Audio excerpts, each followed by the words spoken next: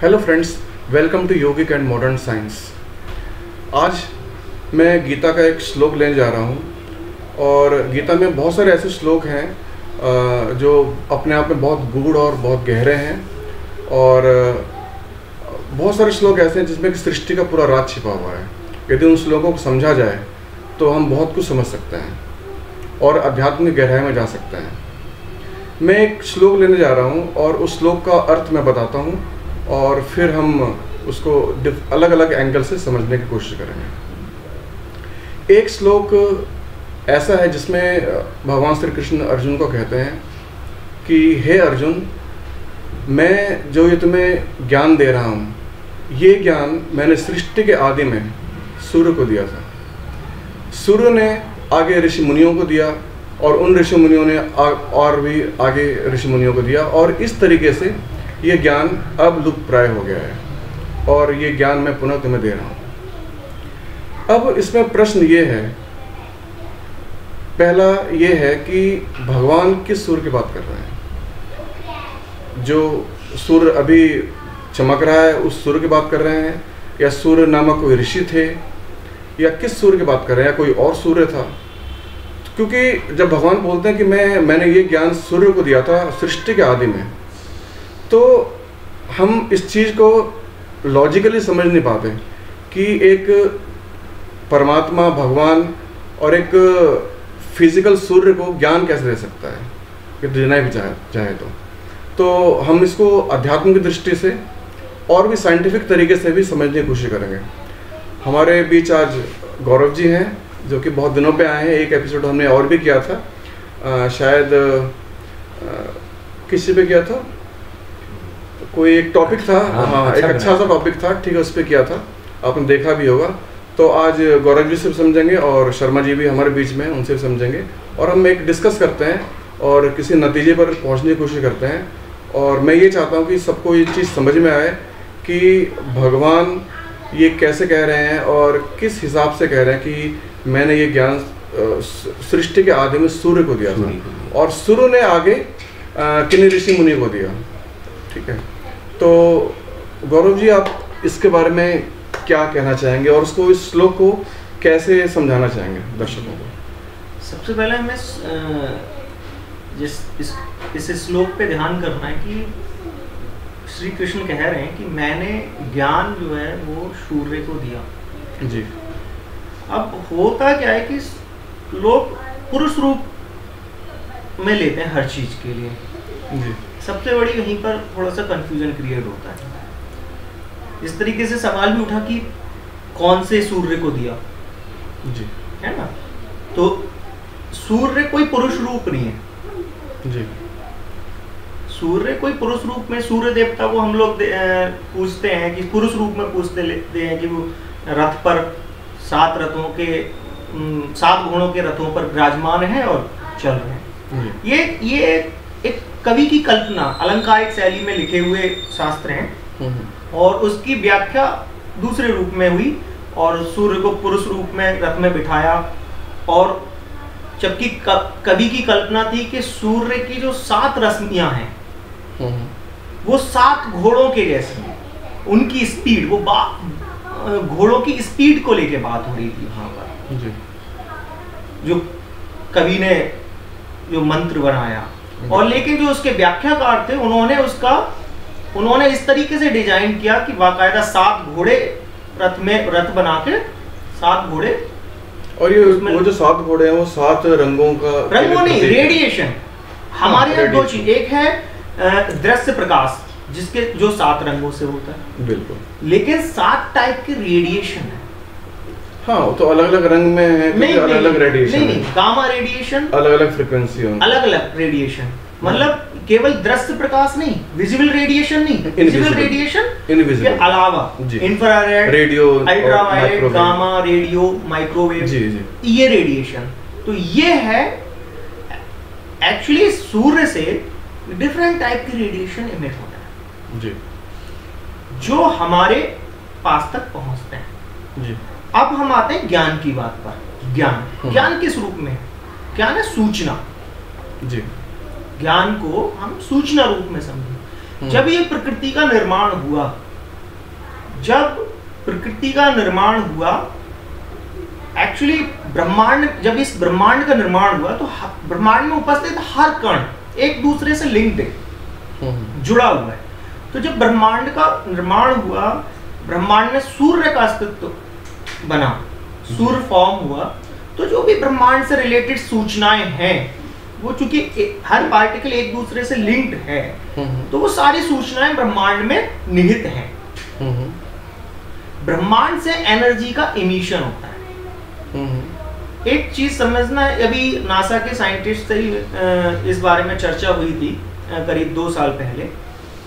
तो वहाँ उन्होंने भी इस पर थोड़ा सा काम किया मैंने भी थोड़ा काम किया तो उन, मैंने उनको और अपना विचार बताए तो वो उस पर थोड़े से संतुष्ट दिखे। उसमें सूर्य से सूर्य के चारों ओर स्पेयर है उससे थर्टी नौ थर्टी सिक्स टाइप के रेडिएशन निकलता है। जी। वन साइडेड नाइन रेडिएशन होते हैं। हम्म, उन्होंने माना कि एक साइड से नौ रेडिएशन और फोर डायरेक्शन में अगर देखा जाए 36 तो 36 रेडिएशन जी। तो टोटल 36 रेडिएशन हम्म, इधर नाइन रेडिएशन अर्थ पर आए।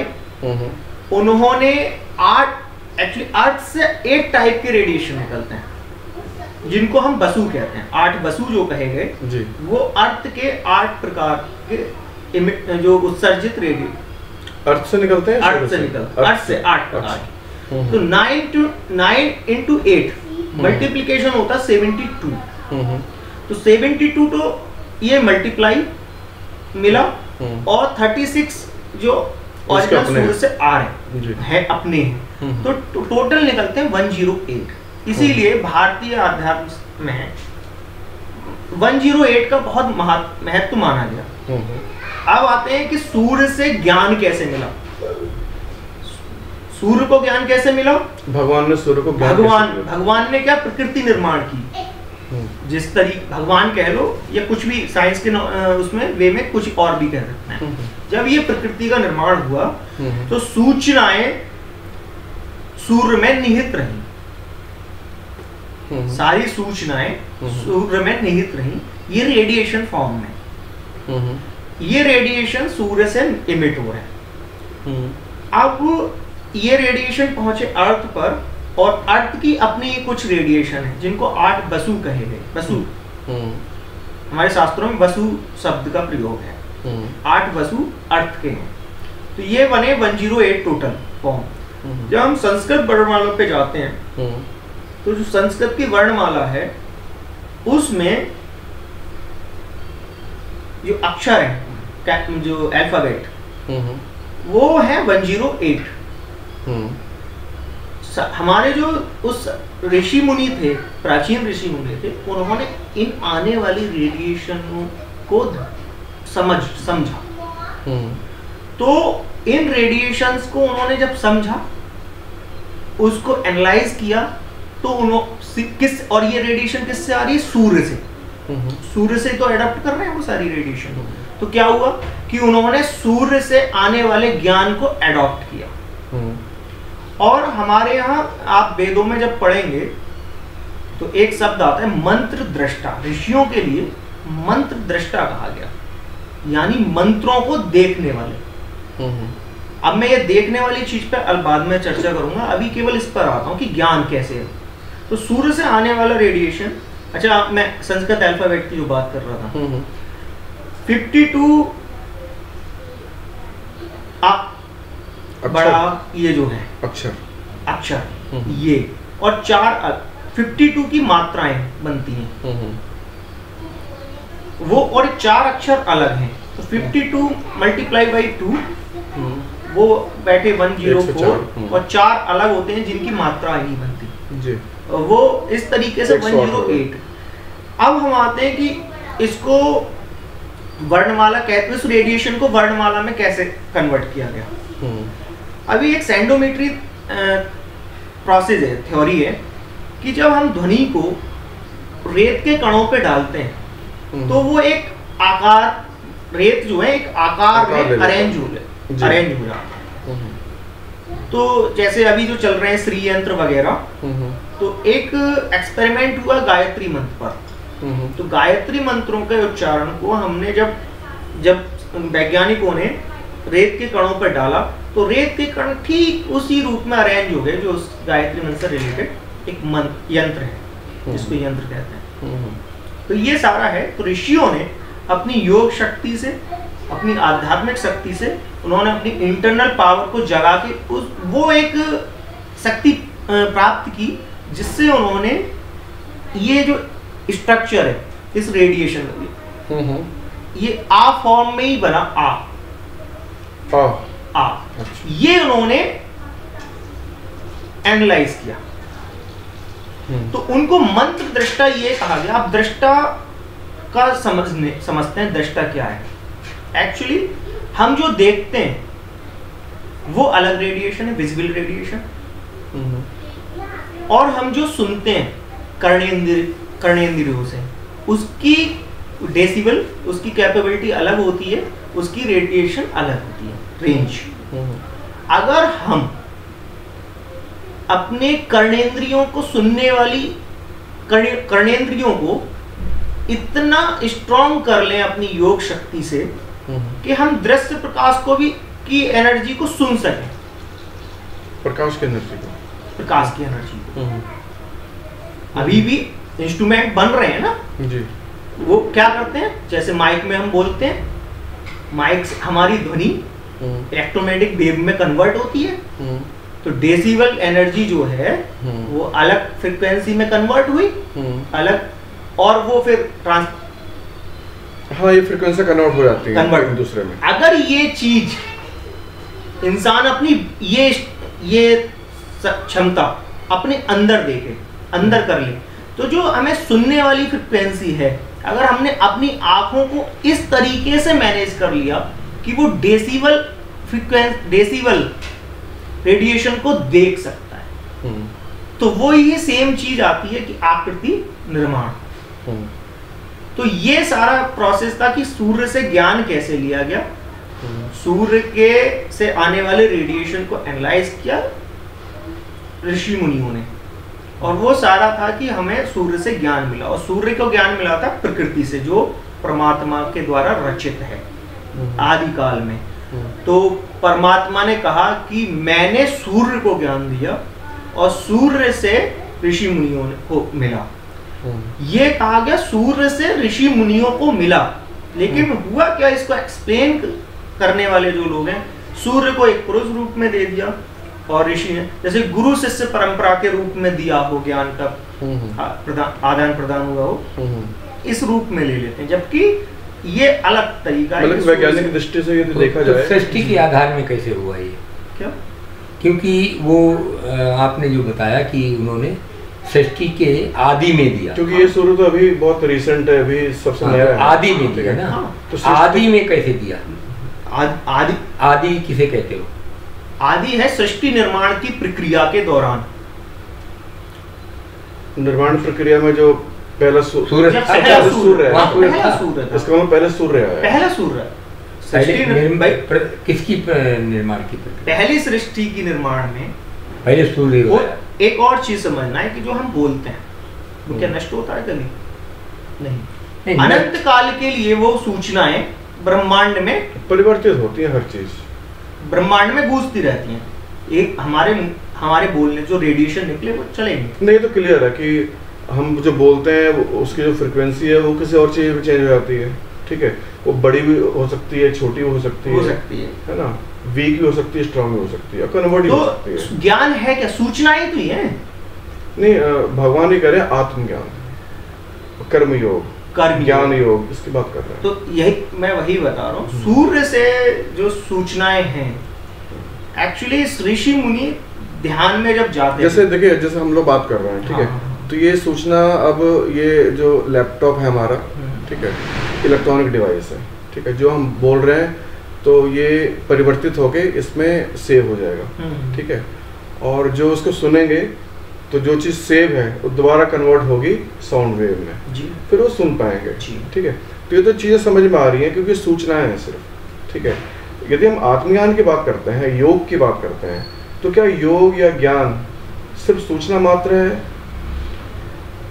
है ना? क्योंकि क्योंकि जैसे संत मते हैं और बहुत सारे मत है उसमें तो कहते हैं कि भाई ज्ञान जो है वो लैंग्वेज में है नहीं। है ना? सूचनाओं को ज्ञान नहीं बोला जाता है। सूचना सिर्फ़ सूचना है तो ज्ञान तो इस हम कैसे रिलेट करेंगे? जो आत्मज्ञान है वो कैसे कम्युनिकेट भगवान ने किया सूर्य को और सूर्य ने ऋषि मुनियों को कैसे कम्युनिकेट किया? आत्मज्ञान। सूचनाओं वाला ज्ञान नहीं आत्मज्ञान। एक तो मैंने आपको बता दिया कि आत्मा होती है ये तो सूचना हो गई। नहीं नहीं नहीं इसको भी अलग लेके जा रहे हैं। सूचना का मतलब ये जो हमने बोल दिया कि आत्मा होती है हम्म। ये हो गया एक संबोधन। हाँ। ये सूचना वाला ज्ञान नहीं। जैसे सिंपल सी बात कि पत्तियाँ हैं। तो पत्तियों से रिलेटेड सारा कुछ इसको और मैं सिंपलीफाई हाँ, हाँ। आप ये कह रहे हैं कि मान लीजिए मुझे आत्मज्ञान है मान लीजिए ठीक है? तो ये जो मेरा आत्मज्ञान है वो प्रसारित होगा अपने आप। ये कह रहे हो ज्ञान अपने आप प्रसारित होगा। ज्ञान तो है। ज्ञान तो है। ज्ञान तो है। हम उसको फॉर्म में लेके आ रहे हैं शब्दों के माध्यम बल्कि सूर्य में वो ज्ञान आ गया अपने आप सूर्य प्रकृति का हिस्सा है। हाँ। सूर्य प्रकृति का हिस्सा है हम तो केवल शब्दों के माध्यम से उस ज्ञान को एक्सप्लेन कर रहे हैं। हम्म, हम्म, ज्ञान तो है ना ऑलरेडी बिल्कुल। पत्तियों में क्लोरोफिल है लाइट का प्रोसेस चल रहा है तो हमने क्या किया? हमने रिसर्च करके केवल उस प्रोसेस को एक्सप्लेन किया ना। हम्म, उस प्रोसेस को तो डेवलप नहीं किया। हम्म, वो प्रोसेस तो चला आ रहा है। हमने तो बस अपने भाषा में उसको एक्सप्लेन किया है। अब मैं आत्मज्ञान की बात कर रहा हूँ। तो यही यही योग योग वगैरह जो है हाँ। यही योग वगैरह क्या ये क्या हमारे आसन ही तो है? हम्म, हम्म, हमारी पोजीशन है ना? हम्म, हम्म, तो इस पोजीशन को समझना। इस पोजीशन को समझना। हम्म, वो मेन मेन है कि वो वो पोजी अब पोजीशन में कैसे होते हैं? नॉर्मली आप बैठो आपके अंदर वो ऊर्जा का प्रसार नहीं होगा जो एक पर्टिकुलर पोजीशन में हो सकता है। हम्म, हम्म, तो जब आप ध्यान मुद्रा में जाएँगे हम्म, हर प्लेनेट का से निकलते हुए रेडिएशन हमारी बॉडी को इफ़ेक्ट करते हैं। जब हम ध्यान मुद्रा में जाएँगे तो उन रेडिएशंस का हमारे ऊपर जो इफ़ेक्ट पड़ेगा वो। हमारी नॉर्मल पोजीशन में नहीं पड़ सकता। उसकी जो एफिशिएंसी होगी हम्म। वो अलग अलग होगी।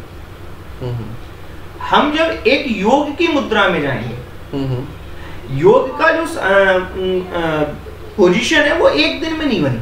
हम्म, इस चीज़ को समझना होगा। हम्म, योग की जो पोजीशन है वो एक दिन में नहीं बनी। एक हम्म। चीज़ में ये जो देखना कि एक बुक लिख दी गई हम्म, हम्म, और फिर वो आगे ट्रांसफ़र कर दी गई। किसी एक दिन में बैठ के बुक नहीं लिखी गई।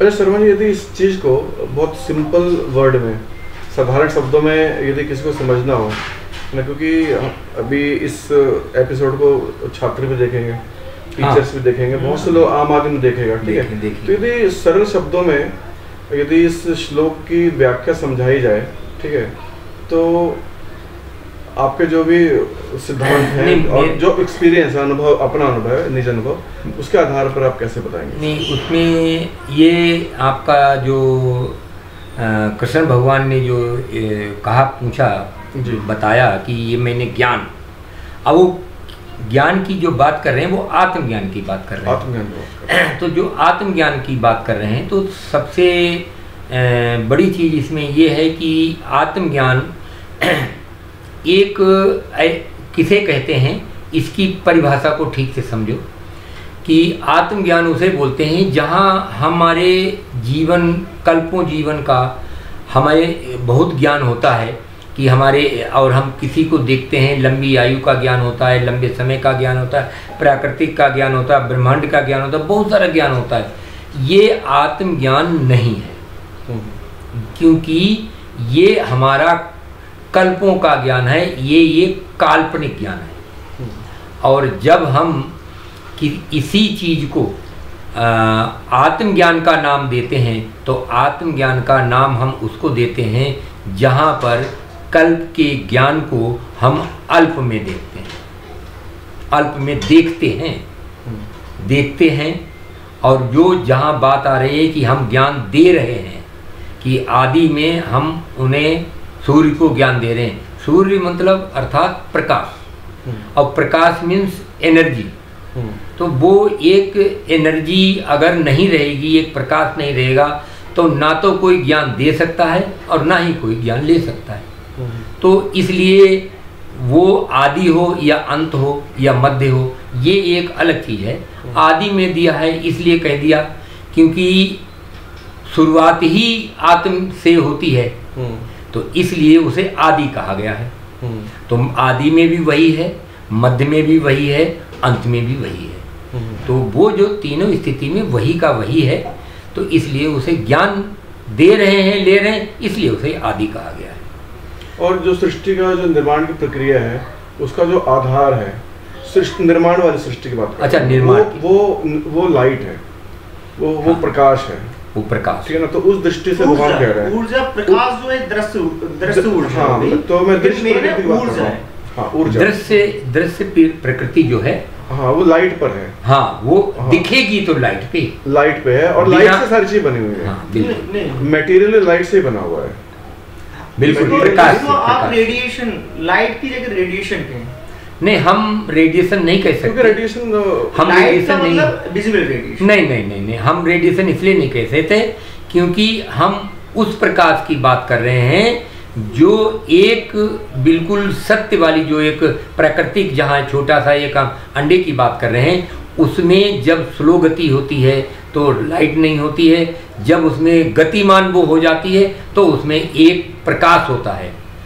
प्रकाश होता है तो वो उस प्रकाश की हम बात कर रहे हैं। आज की टर्मिनोलॉजी में बात कर मैं नहीं मैं मैं यहाँ यहाँ पे आत्मज्ञान की जब बात करते हैं तब हम यहाँ पे नहीं बात कर सकते। हम्म। क्योंकि वो हम वहीं पे बात कर सकते हैं जहाँ का ज्ञान है। और जब इनसे काल्पनिक ज्ञान बात करें काल्पनिक बात करें तब हम यहाँ की बात करेंगे। हम्म। अभी इस वक्त आत्मज्ञान की चर्चा चल रही है कि कृष्ण भगवान जो है सूर्य को ज्ञान दे रहे हैं और अर्थात प्रकाश को ज्ञान दे रहे हैं। और प्रकाश में ज्ञान दे रहे हैं प्रकाश को। तो आदि अंत मध्य प्रकाश ही है तीनों स्थिति में। इसलिए वो उसको ज्ञान दे रहे हैं। तो उसी में ज्ञान देना ज्ञान लेना ये अलग चीज़ है। ये एक चीज़ है कि हाँ भाई दिया जा रहा है लिया जा रहा है। वो गीता का एक उपदेश उपदेश है। वो गीता जो है एक अ, इतनी बड़ी गीता को एक अ, अल्प में अल्प में कंप्लीट गीता का ज्ञान उनको अर्जुन को दिया गया। वो ये बात तो वहाँ पहले भी हमने बताई है कि वो अर्जुन दोनों सेनाएँ समझ नहीं पाई आपस में कि ये आए थे और चले गए। कि समय नहीं लगा क्योंकि उसको अल्प का ज्ञान दिया और वो पीछे सीट पे अर्जुन बैठे हुए थे आगे आए और धनुष्वान उठाया और उठाने के बाद लड़ने के लिए तैयार हो गए। रथ वापस आ रहा था इसलिए पीठ पीठ पे बाढ़ नहीं किया उन लोगों ने नहीं तो वो उसी वक्त मारते। तो ज्ञान उपदेश दोनों सेनाओं के बीच में सत्संग नहीं हो सकता नहीं तो सामने से बहुत मार पड़ेगी। ये ध्यान रखना चाहिए था उसमें। तो इसलिए वो समझ ही नहीं पाए कि जो कल्प का ज्ञान था जो इतना बड़ा गीता के उपदेश था वो एक अल्प में समझ में आ गया। बस इसके बारे में ये कह दिया जा रहा है कि जब श्री कृष्ण ने गीता उपदेश दिया तो उन्होंने उस टाइम को रोक दिया था समय को रोक दिया। था या ये कह ले कि वो काल के उस पोजीशन में चले गए कि काल की गति। ये बात हम पहले ही कह रहे हैं कि जहाँ पर हम हमारी जो वो अंडे की जो एक एनर्जी है वो स्लो चलती है तो हम सब चीज़ें अपने सामने की और लेफ़्ट और राइट की देखते हैं जिसे हमें अपनी उम्र का या समय का ज्ञान बनता है।